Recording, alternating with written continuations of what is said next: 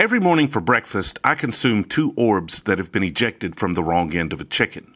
I like mine fried. Because I have consumed something that it so casually discarded, my concern is that the chicken may in some way feel superior. To reassert my dominance for lunch, I ensure that at least one chicken is never able to lay eggs again, and I wash it down with a glass of chicken cock.